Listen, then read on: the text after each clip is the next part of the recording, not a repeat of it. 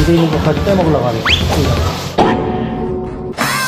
그럼 난다, 난다, 난다. 瑰宝吃完胡萝卜，想去抢瑞宝的。在一旁的宋三岁虽然不敢上去拉架，但是这嘴更损，一下就把光军给惹毛了，就给那么一小块，还不够塞牙缝的，还在这说我像强盗。有两天不给你这张嘴吃熊掌了是吧？还有给气球的时候，分明是一人一个。瑞宝一开始就选上这个黄色的了，但是最后被小爱给完爆了。回到家里后，他又把绿色的拿来给瑞宝。光军想上去夺回来，被宋三岁阻止，这下就惹光军不高兴了。行啊，你什么都向着小田瑞，要是敢碰我一下，我绝对不客气。但光军从不会坐以待毙，喝盆盆奶的时候，以最快的速度喝完，然后立马就去抢瑞宝。即使宋三岁用力拉扯，那也没有用，这奶我喝定了。